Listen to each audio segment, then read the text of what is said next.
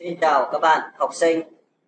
Hôm nay mình sẽ chia sẻ với các bạn một đoạn văn tả về hình dáng người bạn của em ngắn gọn. Nội dung như sau.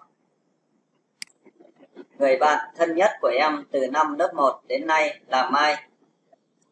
Mai là một cô gái xinh xắn, nữ tính, với giọng nói nhẹ nhàng, ngọt ngào.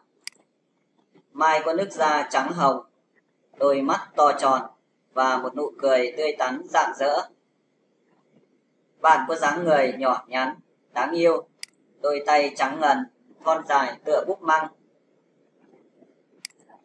Không chỉ sở hữu đôi tay đáng yêu, xinh xắn, mà bạn còn rất khéo léo. Bạn luôn đạt điểm cao môn kỹ thuật và bạn cũng viết chữ rất đẹp.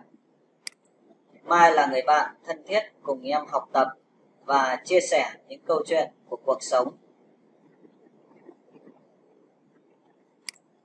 Trên đây, mình vừa hướng dẫn các bạn viết một đoạn văn tả về hình dáng người bạn thân của em. Các bạn đọc và tham khảo những ý hay. Xin cảm ơn các bạn.